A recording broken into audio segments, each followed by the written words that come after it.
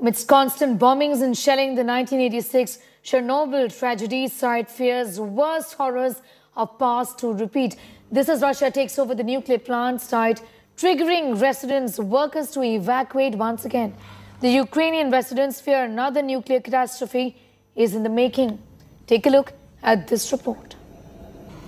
Valery and his wife Khalina used to work as engineer chemists at the Chernobyl nuclear power plant. In 1986, they had to evacuate their home in Pripyat when a reactor exploded, triggering the world's worst nuclear accident.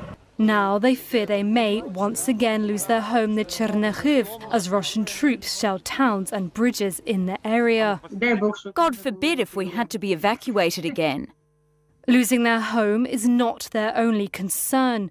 The couple fear Ukraine could see another nuclear catastrophe. Zaporizhia, Europe's largest nuclear power plant, has been in Russian hands since last week when a blaze broke out in a building at the site after clashes between Russian and Ukrainian forces. The United Nations nuclear watchdog said on Wednesday that it had lost touch with its remote systems that monitor nuclear material at the facility. The now defunct Chernobyl power plant is also in the hands of the Russians, who say they are conducting a special military operation in Ukraine. Valery says the nuclear units at both plants are well protected, but warns there could still be a huge catastrophe if a rocket hits. If it gets there, the shelter object could be destroyed.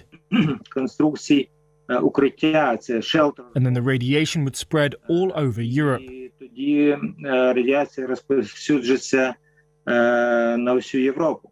If any of the reactors at Energodar, Zaporizhia nuclear power plant, is damaged, it will be Fukushima то це буде Фукусіма. It's our uh, bomb shelter. The couple spend their days hiding in their basement.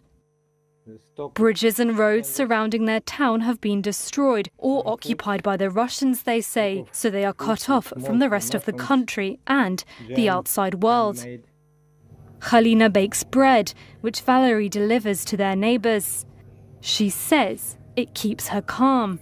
For Valery, the belief that Ukraine will be victorious keeps him going. Soon we will be visiting our friends in Chernihiv again. We will go to Kiev and supplies will resume and everything will be fine.